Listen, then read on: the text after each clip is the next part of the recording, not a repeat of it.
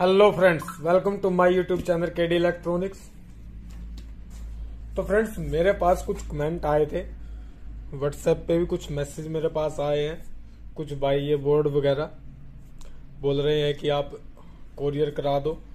तो फ्रेंड्स तो उनमें से कुछ भाइयों ने ये भी पूछा है कि सर ये कितने वोल्ट के ट्रांसफार्मर पे चलेंगे? एक भाई का मेरे पास व्हाट्सएप पे मैसेज आया था कि सर ये अठारह ज़ीरो अठारह के ट्रांसफार्मर पे चल जाएँगे। मेरे पास अठारह ज़ीरो अठारह पाँच एम्पियर का ट्रांसफार्मर है।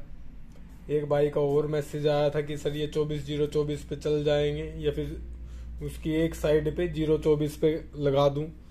तो ज़ीरो चौबीस पे चल जाएगा।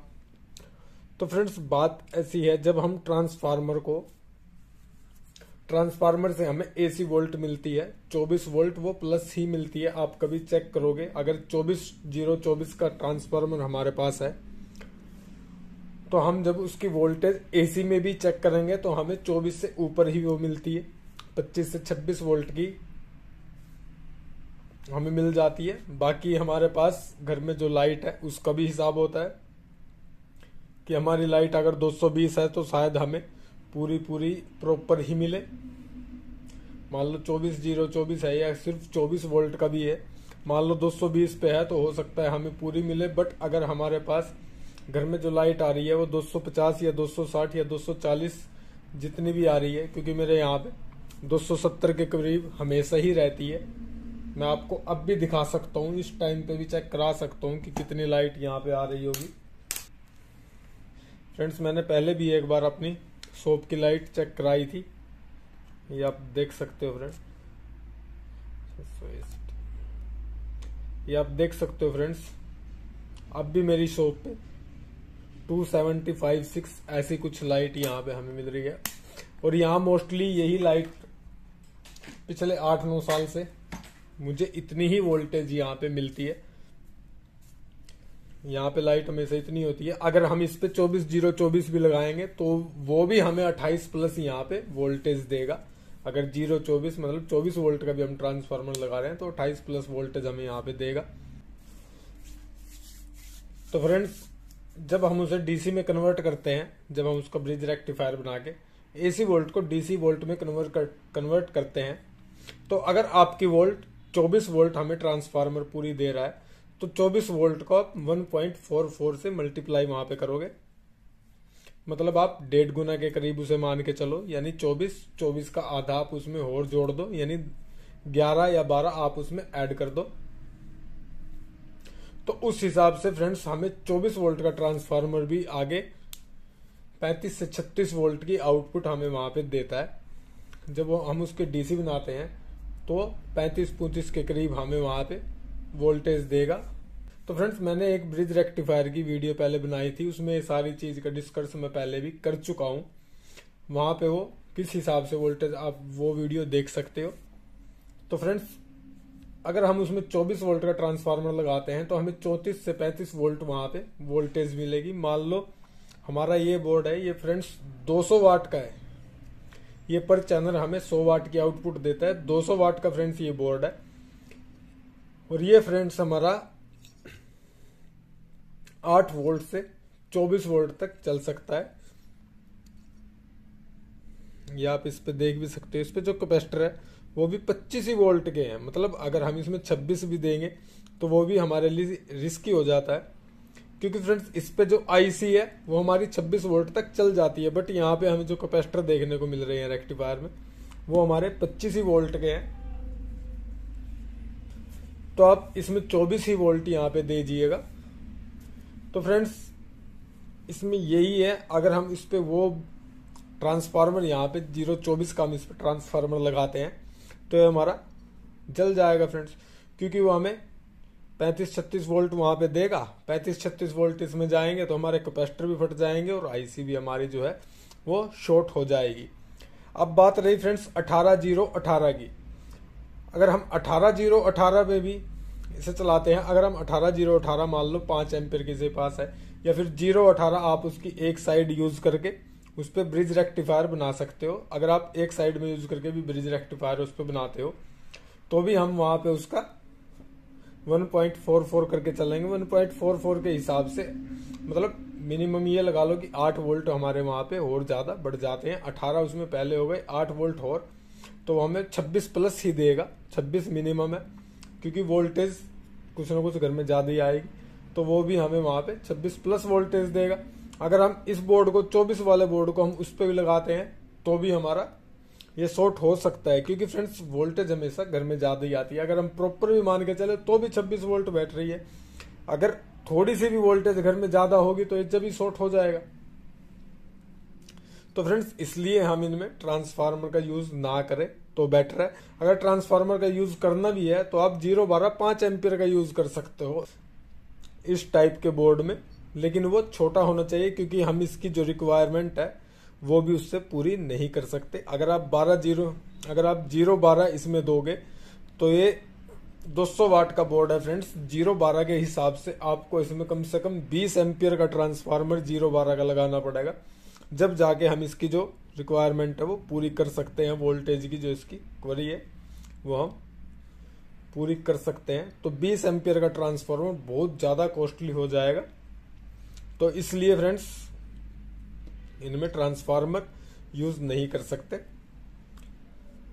ये मेनली बैटरी के लिए अगर आप लाइट से चलाना चाहते हो तो आप इस टाइप की सप्लाई यहाँ पे, जो एसएमपीएस सप्लाई होती है S M P S supply आप इसमें यूज़ कर सकते हो। ये फ्रेंड्स मेरे पास 12 वोल्ट 5 एम्पियर की सप्लाई है।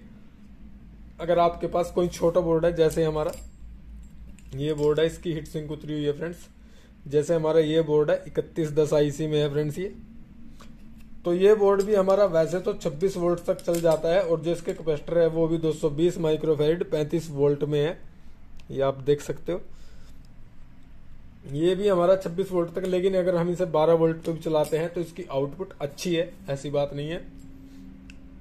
ये भी हमारी एक अच्छी आउटपुट यहाँ पे देता है। ये 12 वोल्ट 5 एम्पियर पे आराम से रन हो जाएगा। आप इसमें 12 वोल्ट तीन एम्पियर पे भी इसे चलाओगे तो भी हमें एक अच्छी आउटपुट दे देगा। पाँच एम्पियर लग जाएगी तो और अच्छी आउटपुट यहाँ पे मिल जाएगी। अगर आप इस टाइप का बोर्ड यूज़ करना चाहते हो फ्रेंड्स तो इस टाइप पे भी आप ज़ीरो बारह पाँच एम्पियर चला सकते हो। या फिर ज़ीरो चौबीस पाँच एम्पियर अगर इस पे चलाएँगे तो ये हमारे पास, ये फ्रेंड्स मेरे पास चौबीस वोल्ट पाँच एम्पियर की सप्लाई है। और इसमें एक बारह वोल्ट एक पॉइंट बारह volt one point two ampere DC ये अलग से होती है। क्योंकि कुछ भाई ये हीट सिंक वगैरह होती है, इनमें फ़ैन वगैरह भी लगाते हैं। या फिर बेस ट्रबल बोर्ड में हमारी जो 12 वोल्ट जाती है, उनके लिए इसमें पहले से ही ज़ीरो बारह अलग से दी गई है ज़ीरो बारह एक एम्पियर तो फ्रेंड्स आप इस टाइप के, ये हमारे पास पाँच एम्पियर है, आप इस टाइप की सप्लाई का इसमें यूज़ कर सकते हो। ट्रांसफार्मर इनमें ना ही यूज़ करें तो बेटर है। क्योंकि ट्रांसफार्मर से हमें छोटे बोर्ड तो हम फिर भी ट्रांसफार्मर से यहाँ पे चला सकते हैं। जैसे हम अगर 12 वोल्ट के ट्रांसफार्मर 12 वोल्ट तीन एम्पियर के ट्रांसफार्मर पे हम इस बोर्ड को चला सकते हैं। ये बोर्ड हमारा उसमें चल जाएगा। बस रेक्टिफायर हमारा ठीक होना चाहिए। ये बोर्ड हमारा उस पर रन हो जाएगा। ये बोर्ड, अगर इस बोर्ड को भी हम ट्रांसफार्मर पे चलाना चाहेंगे तो ट्रांसफार्मर पे भी हमें पहले उसकी वोल्टेज प्रॉपर चेक करनी पड़ेगी कि वोल्टेज कितनी दे रहा है। क्योंकि ये भी 26 वोल्ट तक चल जाते हैं फ्रेंड्स। बट इसमें भी कैपेसिटर जो हमें दिए हुए हैं, वो भी 25 वोल्ट के हैं मतलब 24 वोल्ट तक, लेकिन ज़ीरो बारह से अगर हम करेंगे तो वो डबल तो करना मुश्किल है। तो आप ज़ीरो बारह पे इस पर चला सकते हो, लेकिन आप सिर्फ़ इस चीज़ का ध्यान रखें कि जब हम ब्रिज रेक्टिफायर बनाए तो एक बार उसकी वोल्टेज चेक कर लीजिए। क्योंकि अगर जैसे मेरी शॉप पे आई 270 के करीब वोल्टेज रही है तो यहाँ पे अगर मैं 12 वोल्ट का ट्रांसफार्मर भी चलाता हूँ तो शायद वो भी रेक्टिफायर बनने के बाद मुझे 25 वोल्ट से ऊपर की वोल्टेज दिखा दे। हो सकता है, लेकिन 20 से प्लस ज़रूर दिखाएगा इतना कन्फर्म है।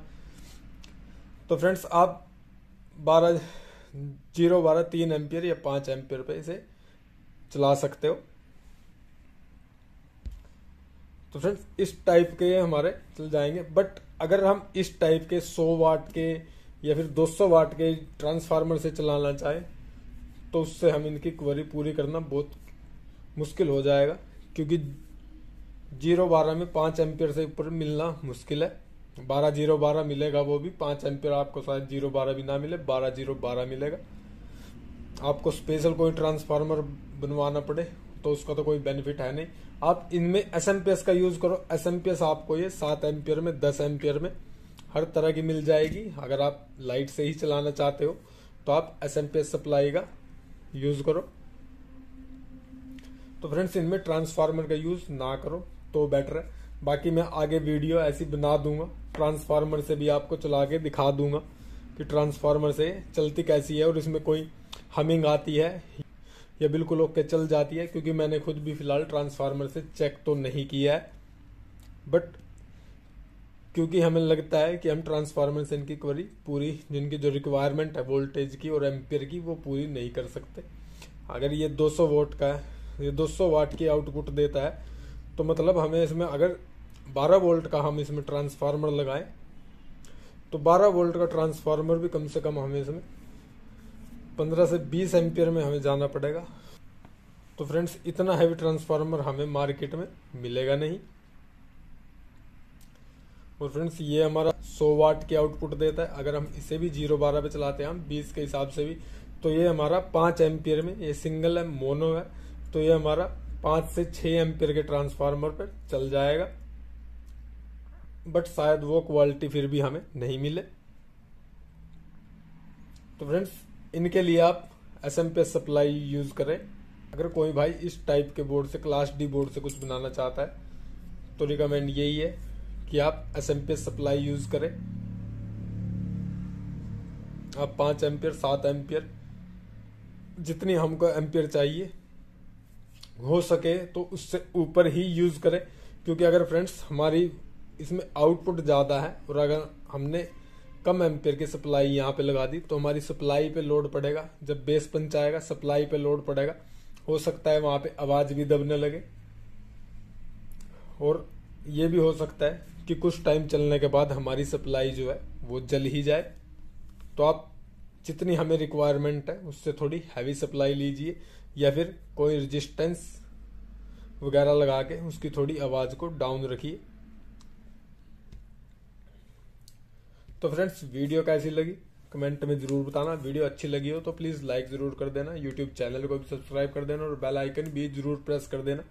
ताकि सभी वीडियो का नोटिफिकेशन सभी भाइयों को मिलता रहे।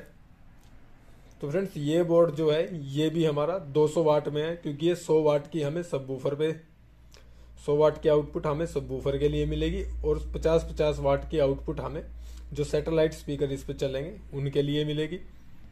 तो फ्रेंड्स इसके लिए भी अगर हम S M P S supply लें तो इसमें भी कम से कम हमें सात से आठ एम्पेयर की S M P S supply यहाँ पे चौबीस वोल्ट की चाहिएगी। थैंक यू फॉर वॉचिंग धन्यवाद.